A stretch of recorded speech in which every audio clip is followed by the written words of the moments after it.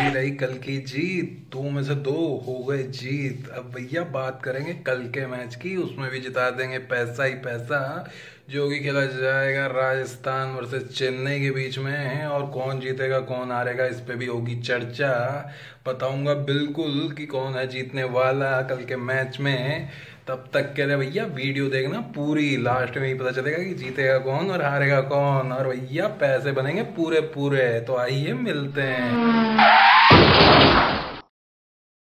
तो welcome back to my channel दोस्तों, जो पहली न्यूज़ निकल के आ रही है, वो आ रही है कल के मैच की। जैसा कि आप सबको पता ही है कि मुंबई ने जो है कल मैच जीत लिया है। बहुत ही ज़बरदस्त मैच था। एक बार फिर से लो स्कोरिंग मैच था।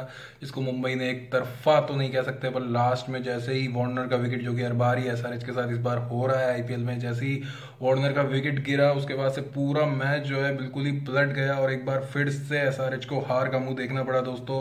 तो वहाँ पे जो है मुंबई ने कल जो है रजिस्टर कर लिया अपनी तेरह रन से। ये दूसरी जीत इस आईपीएल की।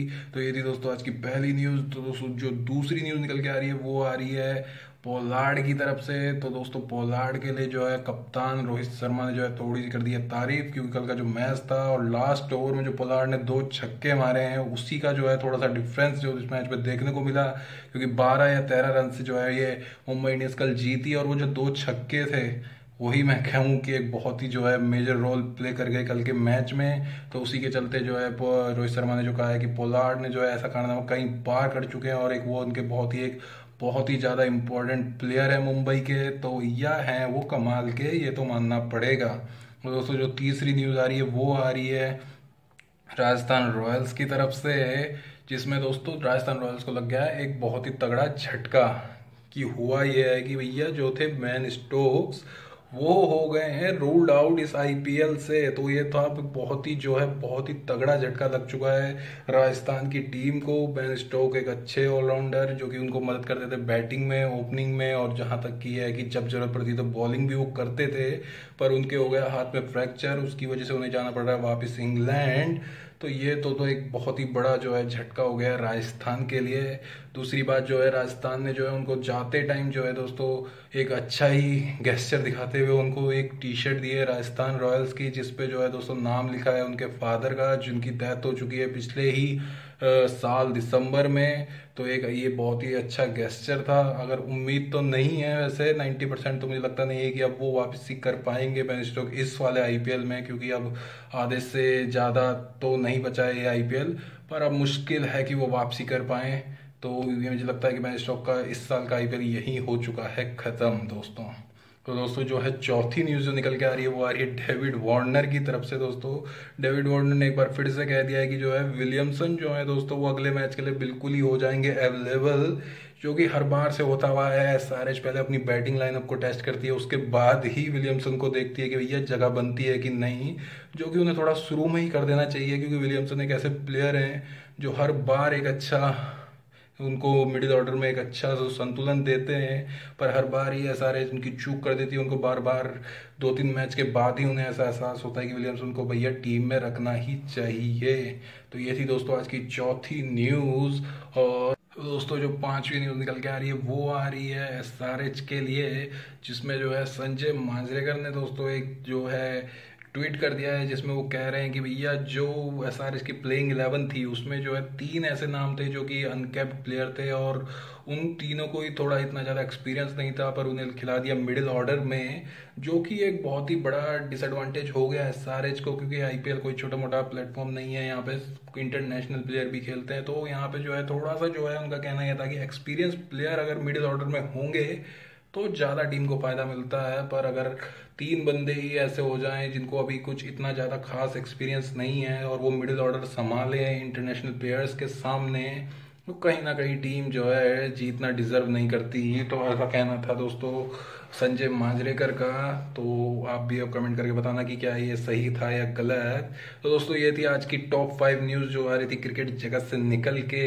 अब मिलते हैं इस वीडियो का नेक्स्ट पार्ट में, जो कि है प्रिडिक्शन टाइम। हाँ जी तो एक बार फिर से स्वागत है आपको और एक बार फिर से जीतने वाले हम कल का मैच। कल दोस्तों मैच खेला जाएगा Rajasthan versus Chennai Super Kings. तो भैया, जहाँ दोनों ही टीमें आ रही हैं जीत के तो भैया मेरे को जहाँ तक लगता है कि कौन जीतेगा और कौन हारेगा ये मैं बताऊँगा आपको। पर उससे पहले बात कर लेते हैं कि मैच ग्राउंड की। तो भैया, मैच होगा एक बार से फिर से मुंबई के ग्राउंड पे। मुंबई का ग्राउंड बोले तो बिल्कुल रनों की होने वाली बरसात। राजस्थान के पास जहाँ दमदार हीटर्स हैं तो वहीं है भैया। चेन्नई के पास भी तगड़े ही एक्सपीरियंस के साथ अच्छे ही प्लेयर हैं। सुरेश रैना ने जहाँ एक बार फिर से फॉर्म दिखाई है लास्ट मैच में तो लगता है कि चेन्नई का पलटा भी थोड़ा सा भारी होने वाला है। मुंबई में भैया कोई भी आप कहें कि स्पिनर्स का कोई बोलबाला नहीं है। मतलब है, पर इतना भी नहीं है कि भैया मैच पलट दें। जैसा कि आपने देखा, चेन्नई में जो है स्पिनर्स ही स्पिनर्स घूम रहे हैं भैया।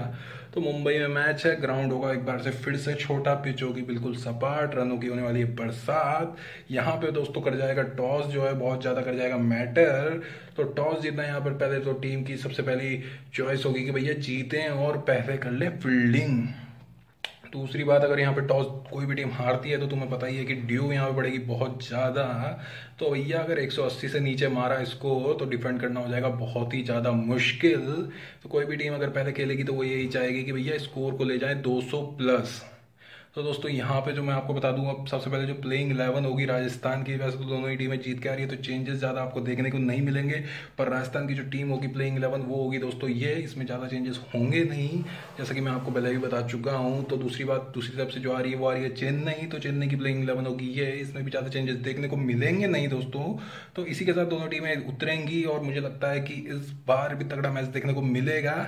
तो दोस्तों, इस मैच में मैं जो जा रहा हूँ, मुझे जो लगता है कि जीतेगा कौन, वो होगा इस बार चेन्नई सुपर किंग्स, क्योंकि थोड़ा सा एक्सपीरियंस मुझे लगता है कि माही भाई यहाँ पे ज़रूर दिखाएँगे और मुझे लगता है कि पिछले मैच में जिस तरह की दीपक चहर ने गेंदबाजी की है, वो इस कारनामे को एक बार फिर से दोहरा सकते हैं। नई गेंदबाज के, नई बॉल से वो हो गए ज़बरदस्त गेंदबाज तो राजस्थान को उनसे पार पानी पड़ेगी। तो दोस्तों, मेरा जो प्रिडिक्शन होगा, वो होगा चेन्नई के साथ, और आप भी कमेंट करके ज़रूर बताना कि भैया, आपको क्या लगता है, कौन जीतेगा, कौन हारेगा? तो दोस्तों, आज के लिए इस वीडियो में इतना ही, और अगर अभी आप यहाँ तक आ ही चुके हो तो भैया सब्सक्राइब कर ही देना। तो मिलते हैं अगली वीडियो में, धन्यवाद।